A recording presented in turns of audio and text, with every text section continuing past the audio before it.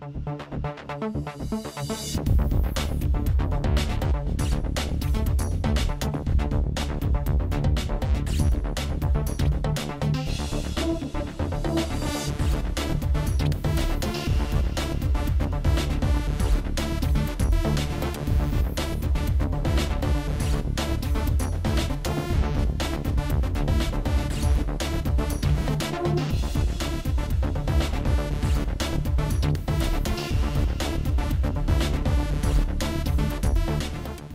Witam bardzo serdecznie ministra Skarbu Państwa, pana Aleksandra Grada, e, który e, właśnie przed chwilą policzyliśmy wspólnie, że jest po raz siódmy na giełdzie z okazji debiutu spółki, która jest efektem e, transakcji prywatyzacyjnej. Witam panie ministrze bardzo serdecznie.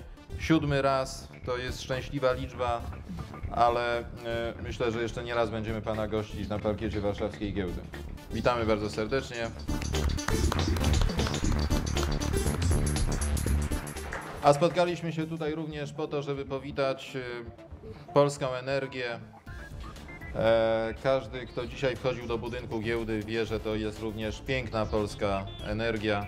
E, Witam serdecznie pana Dariusza Luberę, prezesa zarządu spółki Tauron SA.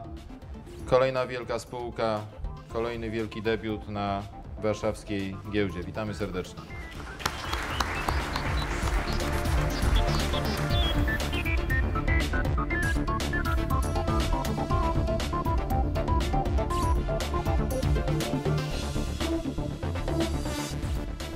Otwieramy nowy etap dla spółki Tauron.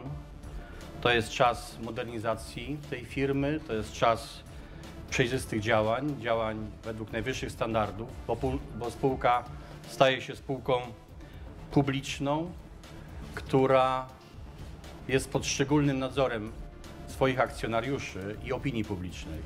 Jestem przekonany, że, że e, spółka zda ten egzamin, będzie budować coraz większą wartość dla swoich akcjonariuszy.